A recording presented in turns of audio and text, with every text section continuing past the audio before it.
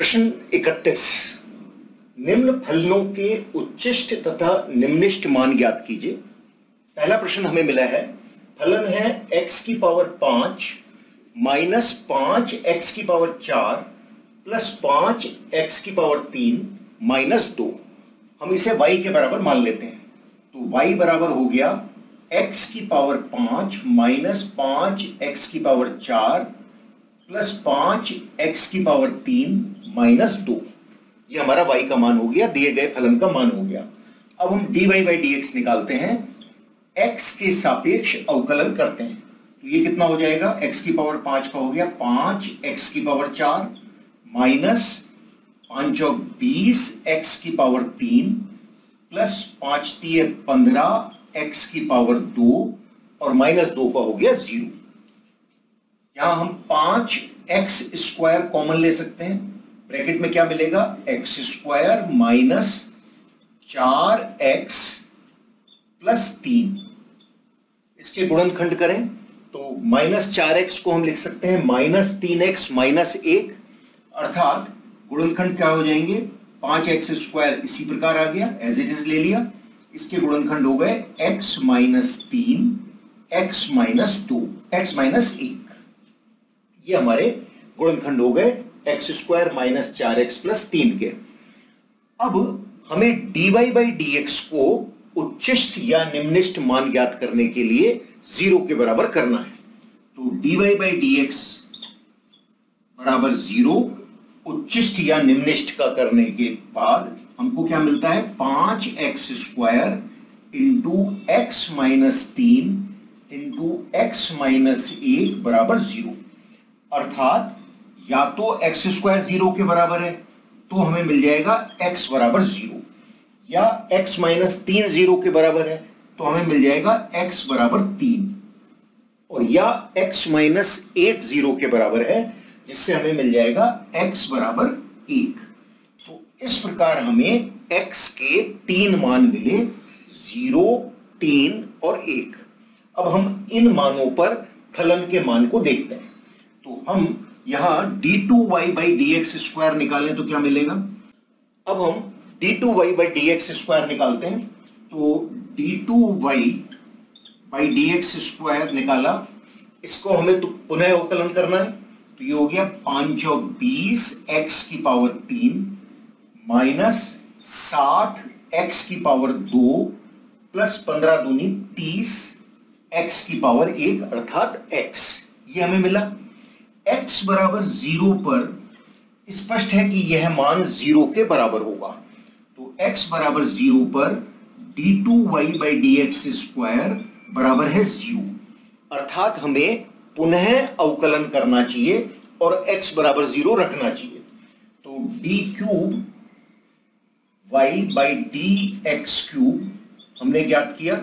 इसको हमें पुनः अवकलन करना है। तो ये मान कितना हो जाएगा? साठ एक्स स्क्वायर माइनस एक सौ बीस एक्स प्लस तीस। ये हमें मिला।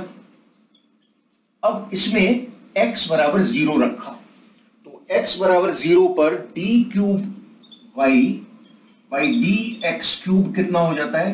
साठ इंटू ज़ीरो अर्थात ज़ीरो माइनस 120 इंटू ज़ीरो अर्थात ज़ीरो प्लस तीस अर्थात मान आता है तीस, जो कि स्पष्ट है ज़ीरो से बड़ा है।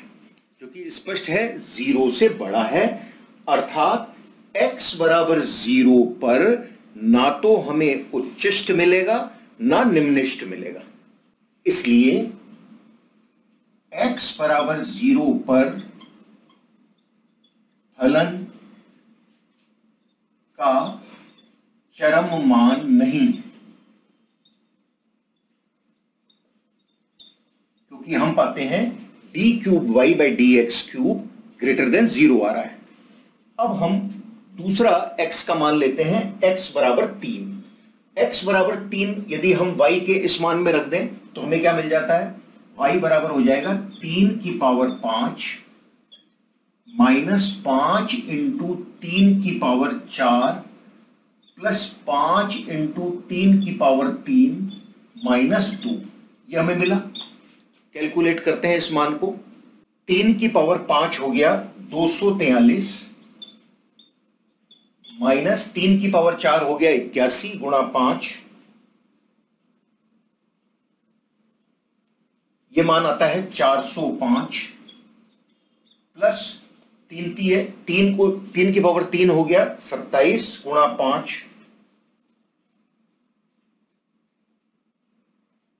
ये मान हो गया 135 माइनस टू कैलकुलेट करें इस मान को तो हमें क्या मिलेगा? माइनस उनतीस। वाई का हमें मान मिलता है x बराबर तीन पर माइनस उनतीस। अब हम x बराबर एक लेते हैं। तो x बराबर एक पर y का मान क्या आता है? यहाँ पर हम x का मान एक रख दें, एक की पावर पाँच माइनस पाँच इंटू एक की पावर चार प्लस पाँच इंटू एक की पावर तीन माइनस दो। मान हो गया एक माइनस पाँच प्लस पाँच माइनस दो। अर्थात ये मान कितना आ गया? पाँच से पाँच कैंसिल हो गया माइनस एक। तो यहाँ स्पष्ट है कि जो x बराबर एक पर मान आ रहा है ये मान हमारे को किस पे मिला है? X बराबर एक पर। ये मान मिला है x बराबर तीन पर। तो x बराबर एक पर ये मान माइनस एक आता है, जबकि x बराबर तीन पर माइनस उनतीस आता है। तो फलन का मान जो उच्चिष्ट है, वो तो हो गया माइनस एक, और निम्निष्ट है, वो है माइनस उनतीस। तो इसलिए x बराबर एक पर उच्चिष्ट है, मान, जो कि माइनस एक है और x बराबर तीन पर निम्निष्ठ है, मान, वो है माइनस उनतीस।